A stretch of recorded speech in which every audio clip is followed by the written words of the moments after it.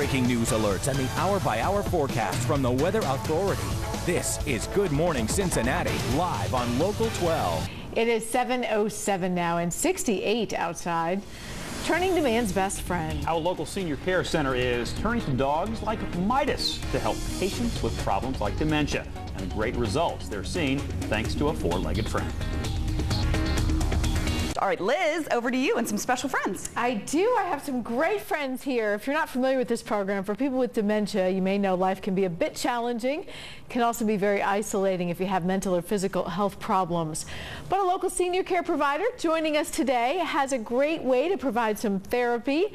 As you can see, we have a very calm friend here. Joining me now, the executive director of the Kenwood by Senior Star, Tom Rotz. Good morning to you. Good morning. And you have a friend with you. Let's like not ignore the obvious here. That's right. Yeah, Who's this is with us? Midas. He is our, um, well, he's King Midas back at the Kenwood, but uh, he is our therapy dog that uh, we use throughout the building actually, but he pretty much uh, lives in our um, memory care uh, area. Now let's talk a little bit about this. I've kind of been familiar with how you've used therapy dogs throughout Mm-hmm. the years, but this is sort of a newer concept. It is. Um, Midas was trained um, the same way most um, working dogs are, uh, with very specific skill sets. But his basically is just to be very docile, calm, and loving. So he was uh, selected specifically for those traits, and uh, along with helping um, just our residents be a little more calmer, uh, he's great just to hug and, and uh, uh, uh, actually bring some life out of some of our residents. Now, are we allowed to get him to stand up a little bit? Well, it's early, but we'll I know, try. I Can you know. get I up? didn't, wasn't sure. I'm like, I just feel like Get he's up. being left out a little bit. There we go. Oh, there we go. And I'm always careful because I know they're kind of trained to behave a certain way. For Mm-hmm. Sit. people not familiar Sit. with the Kenwood by Senior Star, just tell us a little bit about your organization, what you Mm-hmm. Sure. do, who you serve, that kind of thing. Absolutely. Um, the Kenwood is a, a retirement community. We have um, independent living apartments as well as assisted living, uh, skilled nursing, and then the memory care. And so you use the therapy dogs at what level? All levels for all people? They, it- he is used at all levels. Specifically, he's been trained to work with um, folks with dementia, uh, but he is often uh, seen running around the independent living apartments, assisted living. Um, in fact, one of our um, skilled residents that uh, was in independent living and uh, went over to skilled for, to do some rehabilitation uh, specifically asked that uh, he come up and see her. So uh, it was a ni- nice little uh, feeling of home for her. Now, I know you have um, different levels of care, so what level um, can you use the dog or can you use it in all levels? Or? All levels, absolutely. Where, where he's really specifically been trained for is folks uh, with dementia. Uh, and again, it's um, some folks um, with Alzheimer's sometimes will be agitated because they don't really know where they're at.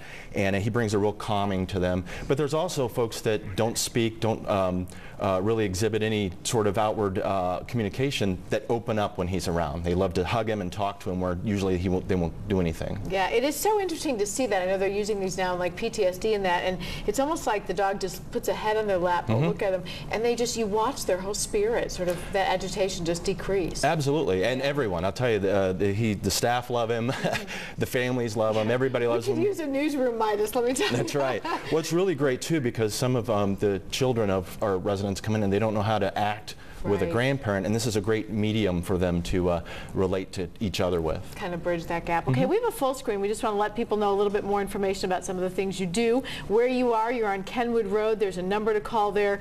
You also have a website that people can find out a little bit more about your program, how it works. Mm-hmm. Are you um, working only with Midas, or do you have other pets that participate, or how does that work? Midas is our um, only dog, um, but uh, he uh, does a pretty good job. He does a little bit of overtime here and there, but uh, he, he is our only I was therapy thinking dog. that's a lot of work. He's no wonder he's dog tired. It's exactly.